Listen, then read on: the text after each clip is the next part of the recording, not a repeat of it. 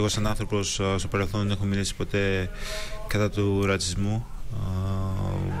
Εντάξει, αλλά υπάρχουν κάποια, κάποιες στιγμές στη ζωή που δεν φτάνει ως εδώ, ως εδώ είναι. Δεν πάει, δεν πάει πιο κάτω.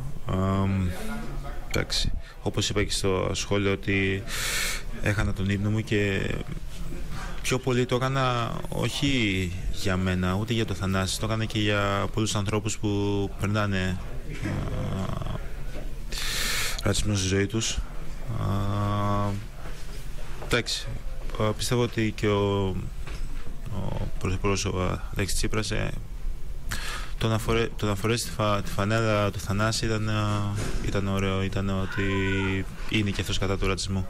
Σε θύμωσε πιο πολύ ή σε, ε, σε, σε στενοχώρησε; Με στενοχώρησε πιο πολύ γιατί άμα μπορεί κάποιος να βγει και να πει ένα τέτοιο σχόλιο ε, κατά το Θανάση.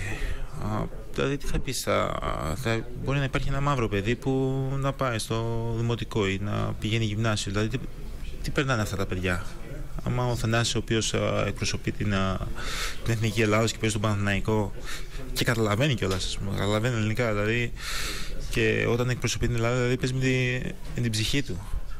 Το, το διασκεδάζει περισσότερο από το καθένα εκεί έξω. Δηλαδή, άμα μπορείς να το πεις σε αυτόν το τύπο, άσχετα ότι είναι αδελφός μου, τι θα πεις σε ένα πεντάχρονο, εφτάχρονο, δεκάχρονο.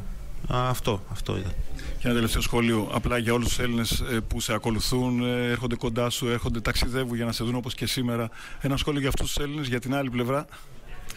Α, θέλω να τους ευχαριστήσω πάρα πολύ. Α, θέλω να τους ευχαριστήσω που με στηρίζουν. Είναι τρομερό να βγαίνω στο γήπεδο και να βλέπω 10 ελληνικές σημαίες. Και είναι ωραίο, είναι ωραίο δηλαδή να φωνάζουν Γιάννη, Γιάννη, Γιάννη, Γιάννη. Είναι ωραίο να ακούω και Έλληνες να φωνάζουν. Συγκλονιστικός. Ε, νομίζω ότι κατέθεσε την ψυχή του. Έτσι, στα λίγα λεπτά αυτά. Και ξέρεις, σου λέει ότι εγώ είμαι εδώ που είμαι και έχω αυτά τα σχόλια. Οι άλλοι άνθρωποι οι οποίοι δεν έχουν τη δυνατότητα, την δημοσιότητα, τα χρήματα, την επιτυχία, τι μπορούν να υποστούν μέσα από τον ρατσισμό.